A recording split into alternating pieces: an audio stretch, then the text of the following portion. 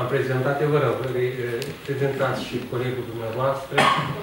Colegul meu este Mihai Cornaci, consilier în cadrul Societății Numismatice Române, filiala Botoșani. Tot e vorba de bani.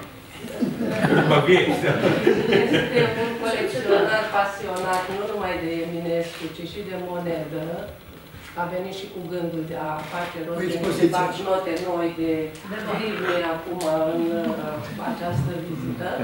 Și o să aibă și dumnealui ceva de, de spus, probabil mesajul de la Biblioteca Județeană Mihai Eminescu din Botoșani.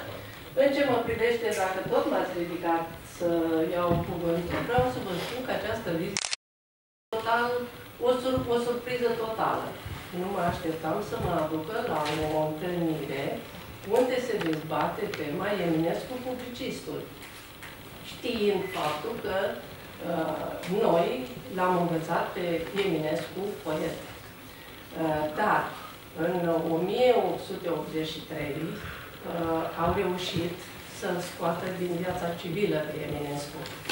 În 1889 l-au eliminat fizic. Dar spiritul lui Eminescu nu au reușit să-l distrugă nici peste secole.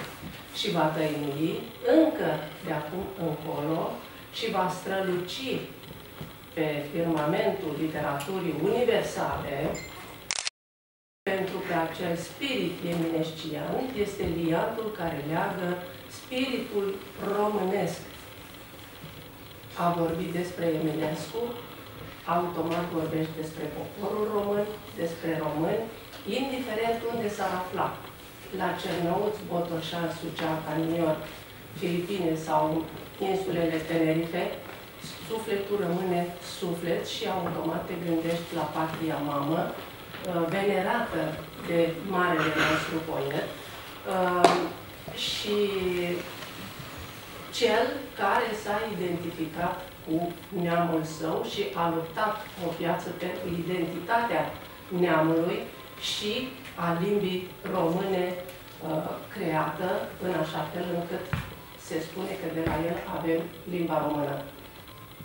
Ce vreau să vă spun este că noi la Botoșani am uh, bătut prima monedă cu Ziua Culturii Naționale, editura Geia, în 2011, parcă a fost uh, pentru prima dată declarată zi națională, Ziua Culturii, iar editura Geia a venit prima și a marcat acest eveniment printr-o medalie bătută la Moscova. Uh, au continuat aceste manifestări, continuă și astăzi.